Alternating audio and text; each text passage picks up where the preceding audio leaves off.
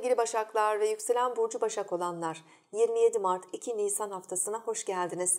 Sevgili Başaklar, evet pazartesi akşam saatlerinde Ay Koç burcuna geçiş yapıyor ve salı sabahı erken saatlerde Koç burcunda bir yeni ay doğacak. Ee, sizin para evinizi etkiliyor bu yeni ay. 8. evinizde meydana geliyor. Burası finansal kaynaklarınız, paylaşımlarınız, hisseli paralar, eşinizin parası, ortaklı geliri giderler, bütçenizle ilgili alanları temsil eder. Yenilikler olabilir. Bazı yeni girişimlerde bulunabilirsiniz. Kredi gibi örneğin veya bir borcu ödemek gibi. Geçmişle bağlantılı konular olabilir çünkü Venüs retro.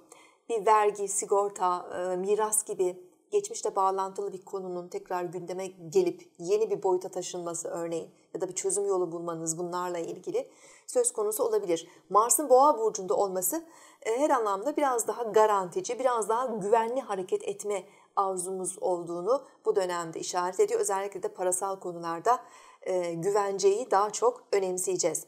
Evet, e, sizin yönetici gezegeniniz Merkür hafta sonuna kadar Koç burcunda, 31'inden sonra ise Boğa burcuna geçiyor. E, ve biraz daha böyle o toprak e, elementinin enerjisiyle artık zihinsel faaliyetleriniz biraz yavaşlayacak. E, bu dönemde daha ağır düşünebilir, daha ağır hareket edebilirsiniz ve zaman zaman kararsızlıklar da hissedebilirsiniz. 10 e, Nisan'a kadar Merkür ileri, 10 Nisan'dan sonra retro hareketi başlıyor.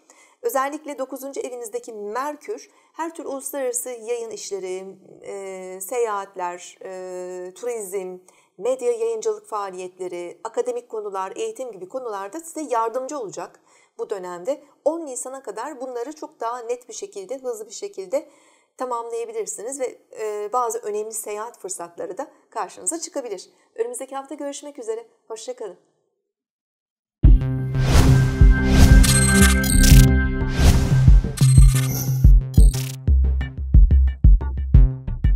Bu akşam seminerimizi canlı olarak mobil uygulamamız üzerinden yapıyoruz.